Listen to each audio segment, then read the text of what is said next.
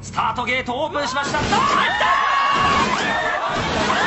さあ菊池どんな表情を見せるのか？これいいんじゃないあっとこの表情！あれは期待が持てそうだ。果たしてどうか？静かにゲートに入ります。趣味は乗馬。日本舞踊という橋本。ボディバランスには長けていることでしょう。勝手な想像ですがローションとの相性にそれはゲートイン。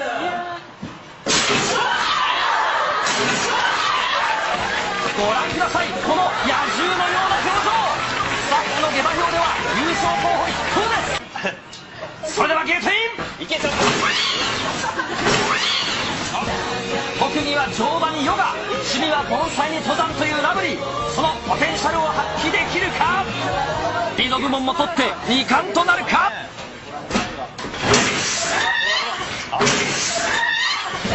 最近は彼女にただ怒られることが番組になるなど男どもの視線を釘付けにしている YOSHIKI 期待が持てます。最も欲しがり菊池亜美次期クイーン候補そうですね。そうだね。芸術点が。さあ菊池まもなくゲー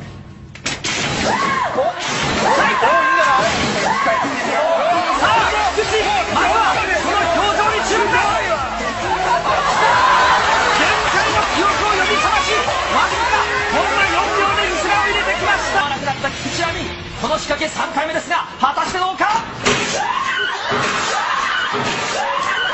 あ菊池まずここで